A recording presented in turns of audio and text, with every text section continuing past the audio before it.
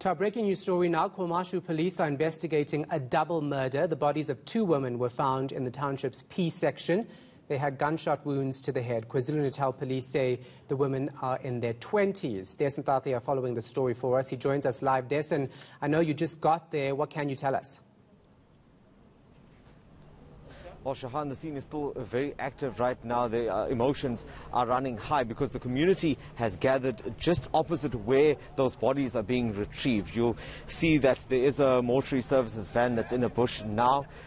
That is around where those bodies of both those women were found. They believed to be in their 20s, and police tell us that they've been shot in the head. Now, while that's happening, uh, while the police are working on that scene, community members have also gathered here just along the roadside. Now, this is a fairly and it's right next to a clinic as well. So it, one wonders how the, uh, the murderers or the attackers had the opportunity to dump these bodies there.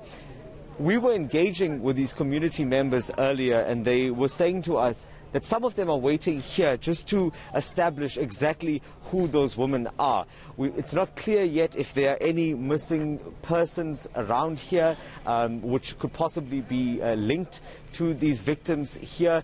The the residents that we had spoken to said that police had not engaged with them yet, but just a short while ago, uh, they were informed by officials here uh, that they would have an opportunity, or at least some of them who were concerned would have an opportunity to, identi- to identify uh, those those victims' uh, bodies. I just want to go a little bit closer, obviously not too close, Shahan. This is still a very sensitive uh, crime scene. Uh, let me take you to, uh, ma'am, Zintlek Tele is here. You were inside. I understand that you've now informed the community that some yes. of them would have the opportunity to identify yes. the women. Yes. Were there any concerns of missing persons around here? There is one gentleman who said his sister has been missing. His sister has been missing since Friday. So he's the first one who asked to go and identify. Um, yeah. What do we know? Do we know, if anything, about uh, these victims or how they came to, to, to, to be here?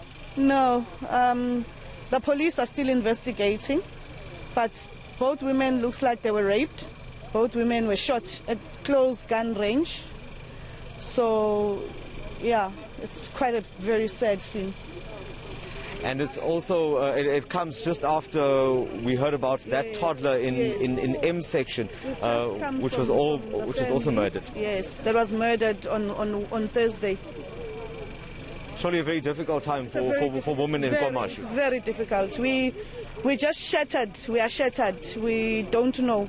We don't know anymore what to say, what more to do. We, we are just shattered. The call then to police in light of this latest incident?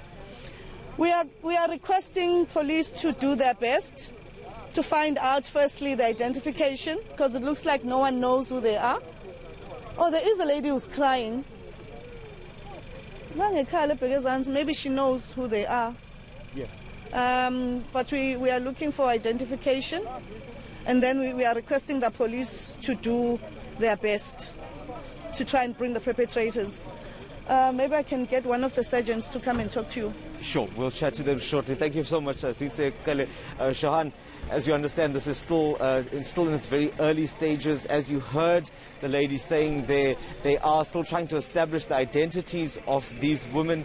Uh, there was a, possibly a man who uh, had a, a, missing, a missing person in his family. He was one of those that was concerned and he's also had the opportunity uh, to look at those bodies. But uh, for now, police are investigating a double murder, and uh, those attackers or those that have committed the murder right now at this point are still at large. Yeah, I'll let you gather more information. We'll leave it right there. Dasen Thathiah is